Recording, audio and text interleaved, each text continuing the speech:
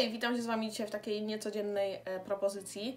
E, dzisiaj bardzo monochromatyczny makijaż, ale jakże delikatny, subtelny, dziewczęcy przede wszystkim, wiosenny. E, jeżeli jesteście zainteresowane, jak wykonałam go krok po kroku, a jest to bardzo łatwy makijaż, Wy oczywiście możecie zamienić sobie kolorki na coś innego, e, to zapraszam Was do oglądania dalej.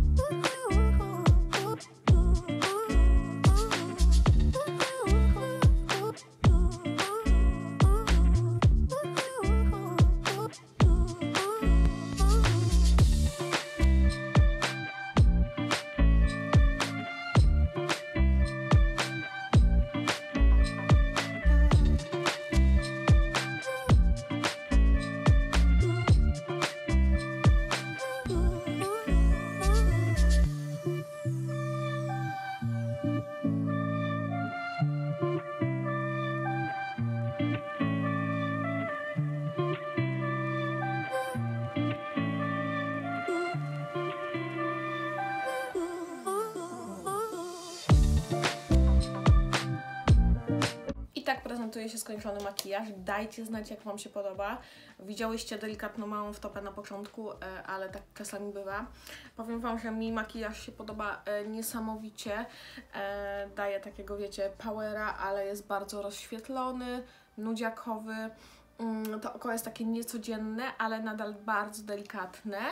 Ja osobiście czuję się bardzo dobrze w takich makijażach, szczególnie w taką pogodę, jak jest za oknem, kiedy świeci słońce, jest bardzo ciepło, śpiewają ptaszki.